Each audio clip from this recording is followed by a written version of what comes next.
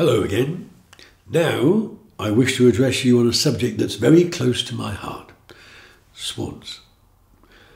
Do you know that there are over 75,000 swans in the United Kingdom? But these elegant creatures are being plagued by a scourge small, unruly children feeding them white bread. You should all know better.